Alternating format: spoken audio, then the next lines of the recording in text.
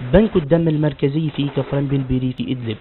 أول بنك محدث في الأراضي المحررة والذي يخدم عددا كبيرا من المشافي الميدانية والخاصة في ريف إدلب الجنوبي وريف حما الشمالي بشكل مجاني.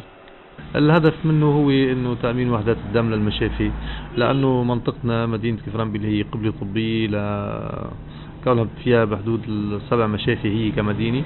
وفي المناطق المجاورة فيها بحدود 30 مشفى مع نقطة طبية طبعا.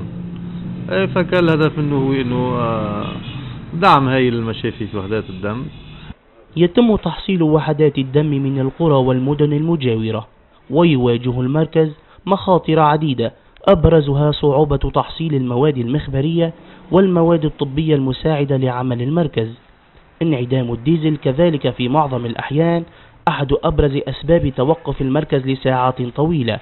يقول القائمون على المركز إن معظم العاملين في البنك هم شباب متطوعون وقد يتعرض للإغلاق عما قريب ما لم يتم تأمين مستلزماته. الصعوبات في البنك هي تأمين المواد المخبرية وهي عالية الثمن جدا والديزل وأجور العاملين كونهم يخرجون بسيارات إجراء لقطف وحدات الدم لتأمينها للمصابين.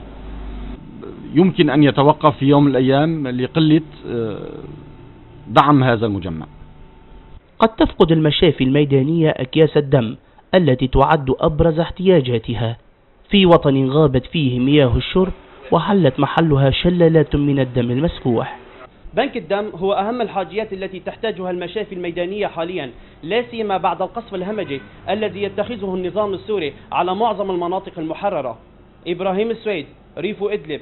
قناة حلب اليوم.